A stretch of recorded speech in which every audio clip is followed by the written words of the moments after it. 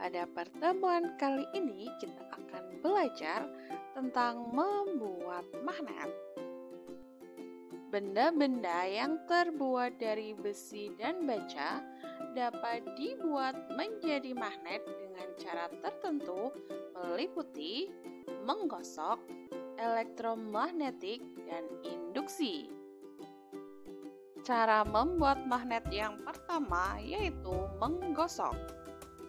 Cara membuat magnet dengan cara menggosok adalah dengan menggosokkan magnet tetap dari besi atau baja dengan salah satu ujung magnet tetap.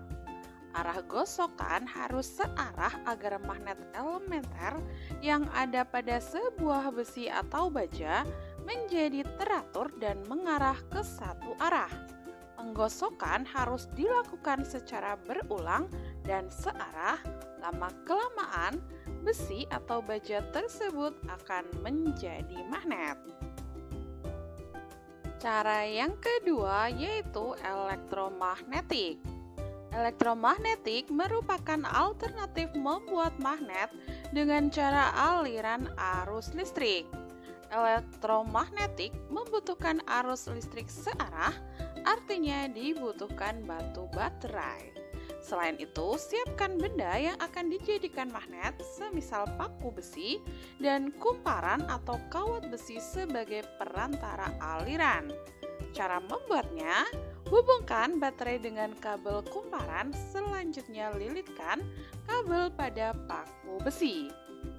Cara yang ketiga, induksi. Pertama, besi atau baja diletakkan di dekat magnet tetap. Magnet elementer yang terdapat pada besi dan baja akan terpengaruh atau terinduksi magnet tetap yang menyebabkan letaknya teratur dan mengarah ke satu arah. Besi atau baja akan menjadi magnet sehingga dapat menarik serbuk besi yang berada di dekatnya. Ujung besi yang berdekatan dengan kutub magnet batang akan terbentuk kutub yang selalu berlawanan dengan kutub magnet penginduksi. Karakteristik medan magnet yaitu setiap garis tidak pernah berpotongan satu sama lain. Garis akan semakin rapat pada wilayah di mana medan magnet semakin besar. Garis-garis ini tidak bermulai atau berhenti dari mana pun, akan tetapi garis-garis tersebut membentuk suatu lingkaran tertutup dan tetap menyambung di dalam material magnet. Arah medan magnet direpresentasikan dengan arah panah pada garis-garisnya.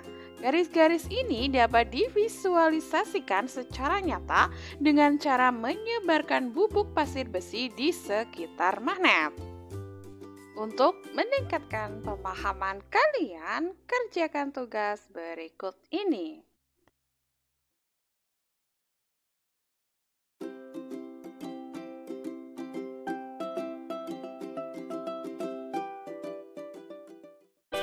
Terima kasih sudah menonton. Sampai jumpa.